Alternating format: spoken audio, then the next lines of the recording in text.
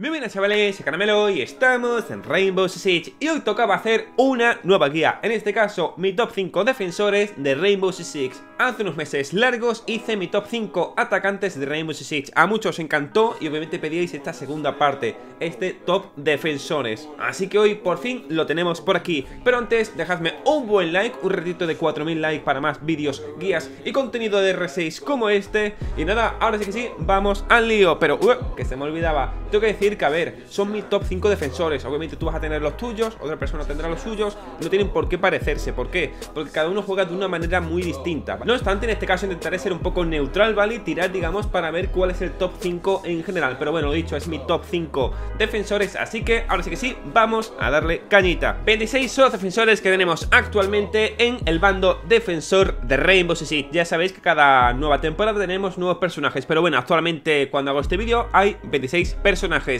Mi top 5 va a ser un top 5 bastante en general. ¿Por qué? No por tener estos 5 personajes que yo voy a decir en una misma defensa, en una misma ronda, significa que esa ronda va a ser mucho mejor. De hecho, no lo es, ¿vale? Porque voy a poner tanto personajes anclas, romer, como en este caso jugadores support o, bueno, jugadores flex, ¿vale? Así que venga, empecemos por el top 5. Que en este caso, mi top 5, nada más y nada menos, es no voy a decirlo, pero lo vais a averiguar muy fácilmente porque es un personaje que simplemente por tenerlo en defensa ya el enemigo va a tener mucho cuidado, va a tener pánico de encontrárselo a solas. ¿Por qué? Porque en este caso mi top 5 en defensa es Caveira. Caveira es un personaje que simplemente por estar jugando ese personaje ya infunde miedo, pánico al equipo contrario. Y eso es algo que ningún otro personaje actualmente puede hacer en defensa. Bueno, a no ser que sea Lord Tachanka, que entonces simplemente sí, pero bueno, en este caso, cuando alguien juega Lord Tachanka ya hemos perdido la ronda en ataque. Así que no preocuparse. Como iba diciendo, Caveira es un personaje que infunde miedo simplemente por estar jugándolo o por estar, en este caso, elegida en el bando defensor. También te digo una cosa, obviamente la persona que lo juegue tiene que ser buena jugándolo. ¿Por qué? Porque es un personaje muy rápido. Tiene que ser para una persona que mentalmente, hostias, sepa pensar muy rápido. Obviamente sí, puede hacerte una buena liada Si Cabeira, por ejemplo, se esconde en una esquina No la ven y bueno, les pilla a la gente por la espalda. Pero bueno, normalmente este personaje está diseñado, está dedicado Para jugadores que están todo el rato moviéndose Buscando la información o buscando la espalda al enemigo Además de que es un personaje que sinceramente a nivel visual eh, da pánico, ¿vale? Da pánico y da también gusto jugarlo porque, hostia, es un personaje súper rápido, es un personaje que, bueno, que siempre está por ahí dando vueltas, moviéndose de un lado para otro, no sé, yo cuando lo uso me encanta usarlo, ¿vale? Sí que es cierto que a nivel de armamento se queda un poco escaso, ¿vale? Porque si hablamos de su armamento, en este caso la pistola, es muy buena, ¿vale? Obviamente tienes que pegar un tiro a la cabeza para que el tío se caiga al suelo y así poder interrogarlo. Ya, el armamento principal es un poco más... Eh, siempre cojo la escopeta, ¿vale? Por el tema de abrir rotaciones, para el tema de, no sé, pasar de un lado para otro o para, bueno, cuando en este caso veo, como en este caso este es un personaje para pillar por la espalda a los enemigos, pues me pillo una escopeta y me pongo ahí a disparar, pum, pum, pum, atún Si no, me pongo el subfusil, aunque el subfusil es de lo peorcito que hay actualmente en el juego, ¿vale? Hace relativamente poco le subieron el daño, pero aún así lo veo como un arma demasiado...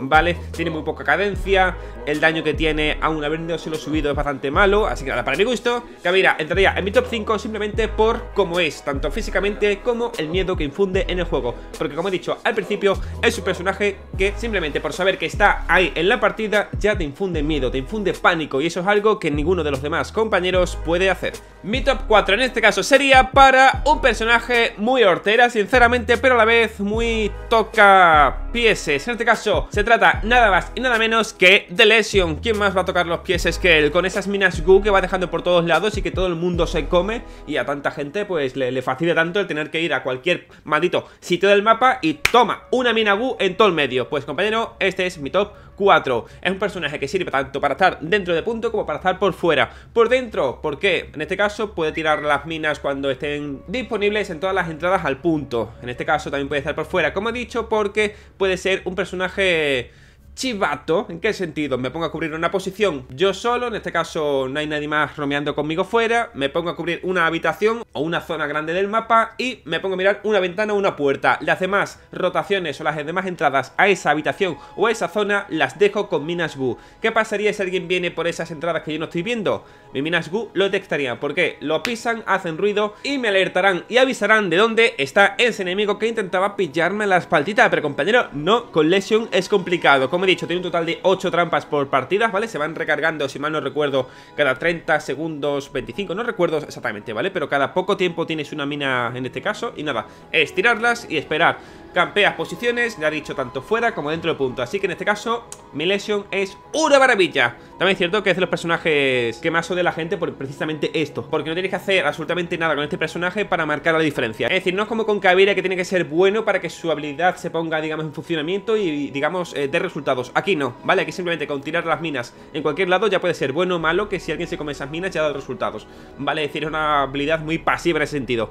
Tiras las minas, y tranquilamente te pones ahí a cubrir, a hacer lo que te dé la gana, a hacerte un bocadillo de chope. Y en fin, ahora pasemos al top 3, que en este caso está compartido. ¿Por qué? Porque como estáis viendo hay 26 personajes en defensa y hay muchos personajes que son muy buenos. Así que no quería quedar fuera a ninguno de estos dos compañeros hermanetos Aunque obviamente no son hermanos, ¿no? Pero bueno, en este caso, en el top 3 tenemos tanto a Jagger como a Bandit Dos personajes que valen tanto para estar dentro como para estar fuera No obstante, tenemos aquí un Jagger que pocas veces vas a estar dentro Es más, de hecho, casi siempre vas a verlo incluso sin reforzar ¿Por qué? Porque se va a poner a poner sus ADS si acaso, los alambres si acaso Pero cuando menos te lo esperes, ya está fuera romeando, mirando una ventanita para hacer spawn kill No falla, ¿vale? Los que son main Jagger saben que, bueno, eh, rara vez ponen todos los ADS o todos los alambres o todos los refuerzos, ¿vale? Digamos tienen una sangre que les recorre todo el cuerpo Que, no sé, los incita a salir siempre por el enemigo a la calle, ¿vale? Es como que no pueden esperar a que entren, no, no Tienen que salir ellos afuera, la verdad, no sé cómo lo hacen Pero siempre están en primera línea de batalla En este caso, mirando todas las ventanas Por eso obviamente no quería quedar fuera de este top, ¿vale? Tanto a Jaeger como a Bandit Aunque bueno, en este caso empezaremos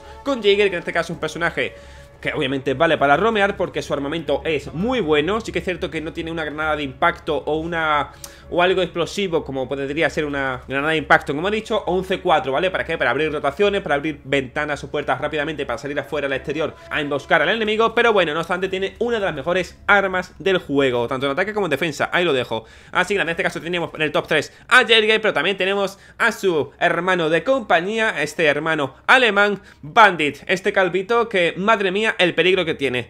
Cuando no está obviamente quemando cargas al enemigo, ya sea cargas de termite, Ivana o de nada más, la verdad, porque de momento no hay nada más, tenemos a un personaje que está haciendo la misma función que Jäger, un personaje que siempre está por fuera. Tiene una arma bastante buena, sí que es cierto que desde que le quitaron esas miras ACOS, ¿vale? Esas miras largas a los alemanes, que bueno, que Dios los tenga en su gloria, esas pobres ACOS, la verdad, que cada vez son menos, son como, no sé, parece que están en vías de extinción, no son lo mismo. De hecho, eran mis dos personajes favoritos, ¿vale? Cuando estaban las miras ACOS y cuando se las quitaron es como, hostias, algo se muere en el alma, ¿vale? Cuando una ACOS se va. Sinceramente, cuando se fueron estados Jaco, en defensa ya no me gustaba jugar, es como que algo faltaba sinceramente. Pero bueno, no obstante tenemos a dos pedazos de personajes, ¿vale? Que obviamente, que ya no solamente son buenos por su armamento, ¿vale? Tanto uno como otro, sino también por su habilidad. Jäger tiene una habilidad llamada ADS, ¿vale? O ¿cómo se llama aquí? Bueno, defensa activa lo llaman por aquí, que sinceramente para todo lo que venga del enemigo. Pero bueno, para de todo, tanto granadas de fragmentación, cegadoras, humos, en fin, casi de todo, sinceramente, como, exceptuando, como ya he dicho, esos dardos decapitados, que solo lo pararía en este caso One Mai, pero bueno, me parece una pedazo de habilidad, ¿vale? Y además puede ser un personaje que simplemente sí va a utilizar sí o sí También tenemos por aquí a Bandit que como ya he dicho, ya no solo por su armamento, sino por su habilidad de poder denegar esa entrada electrificando ciertas posiciones, ¿vale? Es decir, tú pones unos Bandits y si matan al Jaeger o se cargan a esos personajes eh, que quitan esas inhibiciones, pues, hostias, está complicado entrar, sinceramente Así que nada, dejando este top 3 de lado Pasamos al top 2, que vamos, que si el top 3 estaba, digamos, concurrido de gente Porque eran dos personas las que compartían este puesto En el top 2 los comparten aún más ¿Por qué? Porque tenemos a los dos franceses spawnkileros por defecto Y a Echo, tres de los personajes que simplemente por ser como son, en este caso por tener esas miras ACOG, son personajes muy elegidos. ¿Por qué digo esto del tema de las ACOG? Porque actualmente, como he dicho en el caso anterior, cada vez son menos comunes las ACOG en defensa, así que obviamente siempre debería haber un personaje ACOG en el equipo. En este caso, siempre suele ser o un Dog, o un Rook, o un Echo, que en este caso Echo suele ser elegido tanto por su mira ACOG, como en este caso por su habilidad denegadora de plante. Además también de porque tiene una habilidad la cual puedes camuflarlo donde te dé la gana gracias a ese dron de Yokai que puede ser invisible o más o menos, ¿vale? Porque puede venir una IQ detectártelo, pero es complicado sinceramente. No obstante, como he dicho, este es un personaje que se suele elegir ya no solo por su habilidad, sino por su armamento, porque es uno de los pocos personajes que tienen un arma bastante buena que apenas se va, que en este caso es una MP5 silenciada, y además es un personaje toca pelotas que te cagas. Pasamos a los franceses. Hasta hace relativamente poco eran casi iguales y solo los diferenciaba una cosa. Actualmente son iguales, ¿vale?